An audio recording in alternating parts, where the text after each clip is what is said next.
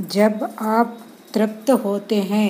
तब आपका मन निर्मल होता है और आपके मन में किसी के लिए कोई दुर्विचार नहीं होता